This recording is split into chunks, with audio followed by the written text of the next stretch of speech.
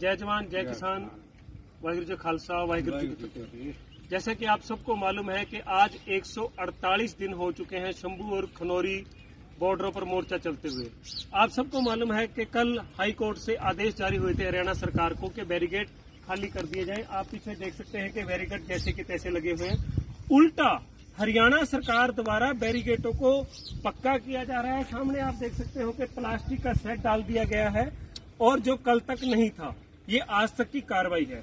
मैं आप सबको के मोर्चा पूरी तरह से मुस्तैद है और यहाँ पर सरकार द्वारा ये बीजेपी सरकार है, जिसका आज तक का ये षड्यंत्रकारी सरकार है, ये यहाँ पर कोई षड्यंत्र करवा सकती है। लोकल यहाँ आरएसएस के गुंडे भेजकर यहाँ पर हमला करवा सकती है, अटैक करवा सकती है। तो आप सब साथियों से अनुरोध है कि ज़्यादा से ज़्यादा संख्या में रात के लिए मोर्चों शंभू मोर्चा और खनौरी मोर्चा पर आप पहुँचे।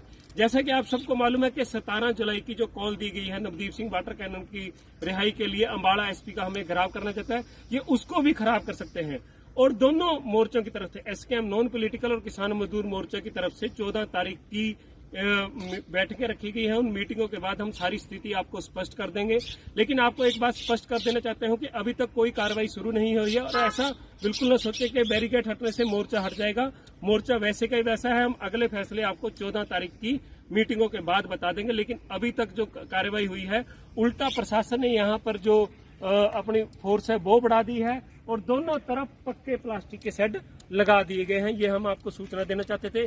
आप हमारे साथ ऐसे ही बने रहे। बहुत बहुत धन्यवाद। जय जवान जय जय जवान जय किसान। वाहिगुरु जी खालसा वाहिगुरु जी जैसा कि आप सबको मालूम है कि आज 148 दिन हो चुके हैं शंभू और खनौरी बॉर्डरों पर मोर्चा चलते हुए। आप सबको मालूम है कि कल हाई कोर्ट से आदेश जारी हुए थे हरियाणा सरकार को कि बैरिकेड खाली कर दिए जाए। आप पीछे देख सकते हैं कि बैरिकेड जैसे के तैसे लगे हुए हैं। उल्टा हरियाणा सरकार द्वारा बैरिकेडों को पक्का किया जा रहा है। सामने आप देख सकते हो कि प्लास्टिक का सेट डाल दिया गया है और जो कल तक नहीं था, ये आज तक की कार्रवाई है। मैं आप सबको के मोर्चा पूरी तरह से मुस्तैद है और यहाँ पर सरकार द्वारा ये बीजेपी सरकार है जिसका आज तक का ये षड्यंत्रकारी सरकार है। ये यहाँ पर कोई षड्यंत्र करवा सकती है, लोकल यहाँ आरएसएस के गुंडे भेजकर यहाँ पर हमला करवा सकती है, अटैक करवा सकती है। तो आप सब साथियों से अनुरोध है कि ज़्यादा से ज़्यादा संख्या में रात के लिए मोर्चों, शंभू मोर्चा और खनौरी मोर्चा पर आप पहुँचे।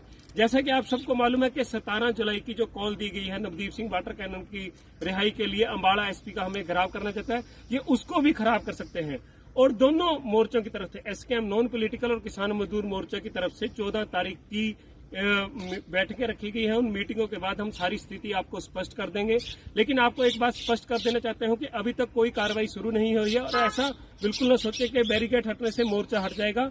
मोर्चा वैसे का ही वैसा है। हम अगले फैसले आपको चौदह तारीख की मीटिंगों के बाद बता देंगे। लेकिन अभी तक जो कार्रवाई हुई है, उल्टा प्रशासन ने यहाँ पर जो अपनी फोर्स है वो बढ़ा दी है और दोनों तरफ़ पक्के प्लास्टिक के शेड लगा दिए गए हैं। ये हम आपको सूचना देना चाहते थे। आप हमारे साथ ऐसे ही बने रहे। बहुत बहुत धन्यवाद। जय जवान। जय